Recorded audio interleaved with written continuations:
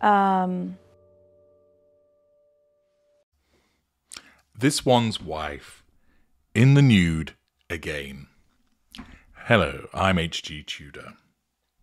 I've explained in detail why this one's wife is a somatic narcissist.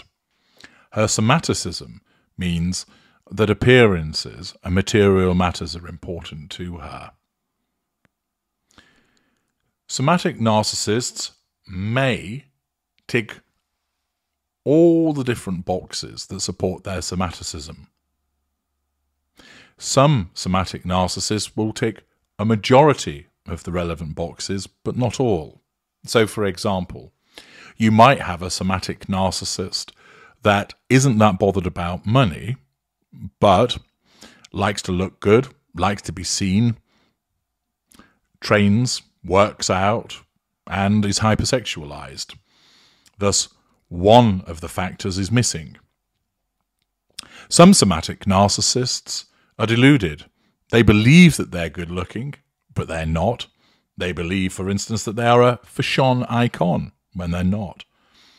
Sometimes the delusion comes from once having been good looking, but as a consequence of particular lifestyle choices, they've lost their looks maybe through weight gain, through drug taking, abusing alcohol, etc., not looking after themselves, but they still trade out on their glory days. This one's wife has a number of somatic traits. We know that she has a preoccupation with money. We know that she likes to be wealthy. We know that she likes to be seen at expensive gatherings. We know that she likes to be seen on the red carpet. We know, for instance, that she is somebody that's preoccupied with her appearance. She's utilized cosmetic surgery. She spends a lot of money on ill fitting clothes. She spends a lot of money on jewelry. She wants to have an expensive house, which she regularly triangulates people with. She wants to hang out with the beautiful people. She wants to holiday in luxurious places. She's hypersexualized in that we know that she has utilized sex as a means of bringing people under control and drawing fuel through throwing out lashings of spicy poontang. There are other aspects to her somaticism also, but one of the key aspects of it is this, this hypersexualization linked with her believing that she's hugely desirable. Now, you wouldn't necessarily objectively describe her as ugly, but she's far from the most beautiful woman that's on this planet. Add in the way that her personality is and she becomes all the less desirable. But she believes that she's drop dead gorgeous, that every woman wants to look like her and that every man wants to knock her hip out. You only have to see the way that she sachets when she's walking into something, whereby she expects all eyes to be on her. Look at me, look at me. I'm beautiful. I'm stunning. I'm heart attack beautiful, as my husband said. Harry, of course, was overcome as a consequence of the fact that a relatively attractive female was paying him attention and was probably massaging his balls under the table at the time, that he couldn't believe his luck. And, overcome by his own emotional thinking, he was easily ensnared by her playing the sex card.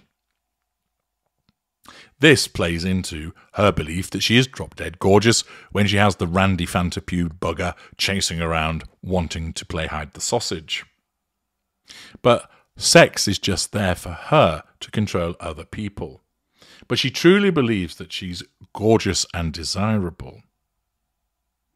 She'll have used sex in order to bring past intimate partners under control, for instance, Trevor Engelson, Corey the chef, others that she's had a liaison with, see parts passim.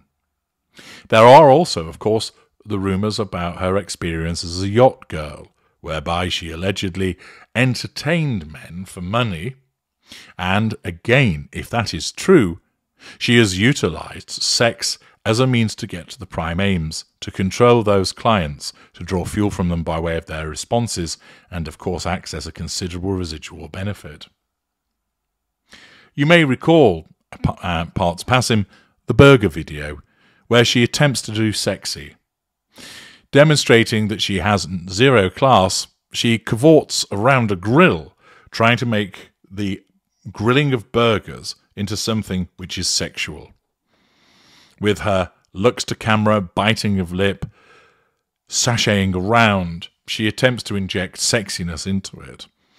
And this whole selling of herself through the video that she did for Men's Health, the reported nude photographs that exist of her, the suggestion that she's been involved in porn videos also, allied with the allegations of her being a yacht girl, are all things which may well be likely as a consequence of her somatic narcissism. Lacking boundary recognition, operating with a sense of entitlement, having no accountability for her behaviors, but needing that control, needing that fuel, character traits and residual benefits, her narcissism would not hesitate to cause her to believe that she's the most stunning woman in the world, that can suck a golf ball through 40 feet of hosepipe, and that every man wants to nail. And therefore, with that mindset, cause her to behave in a particular way so that she uses sex and nudity to get to those prime aims. And we have, once again, another picture that is doing the rounds on the old internet, which tends to support this past history of hers. You can see it on your screen, which a bit of redaction has been utilized to spare her blushes, not that she would have any. But this is another photograph that has recently been unearthed and has been recently doing the rounds on the internet. It suggests again that she's there engaging in some at least topless posing. Naturally, an individual is free to do that. It's their body. They wish to make a living, whether it be in the porn industry or OnlyFans, whatever it might be, doing topless modeling, they're perfectly entitled to do so. But of course, what this demonstrates is how she has gone about making her way through life in pursuit of the prime aims, but also her being exposed with another nude photograph demonstrates her hypocrisy, whereby she has maintained that she has that she's an independent feminist, that she's empowered, and that she's encouraged girls to seek that empowerment. What? By using men to get to where she's got to, by using sex to get ahead, by posing naked on a repeated basis. Are those the things that she believes are part of that empowerment? Nothing to do with education, nothing to do with working hard, nothing to do with being empathic and forging good relationships, but basically show your tits and you'll get ahead. That appears to be the message that she's issuing. So, once again, as a consequence of another photograph doing the rounds, we not only see her somatic narcissism in full effect, but uh, also seeing another example of the hypocrisy of the narcissist.